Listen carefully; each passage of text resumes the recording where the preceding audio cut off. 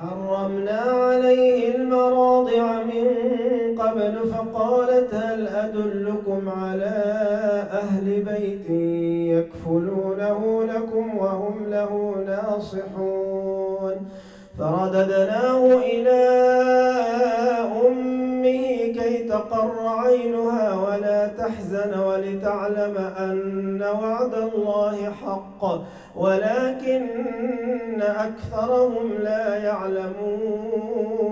ولما بلغ أشده واستوى آتيناه حكما وكذلك نجزي المحسنين.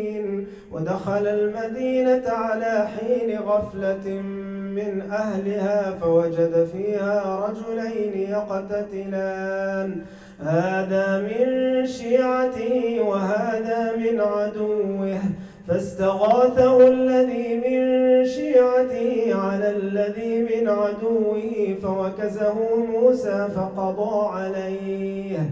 قال هذا من عمل الشيطان إنه عدو مضل مبين. قال رب إني ظلمت نفسي فاغفر لي فغفر له إنه هو الغفور الرحيم.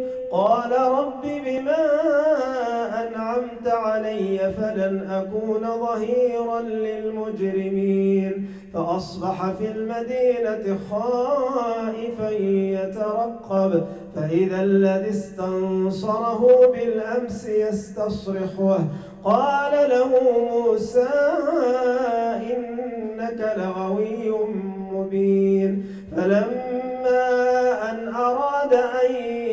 يبطش بالذي هو عدو لهما قال يا موسى.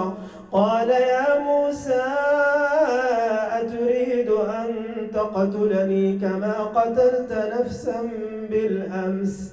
إن تريد إلا أن تكون جبارا في الأرض وما تريد أن تكون من المصلحين.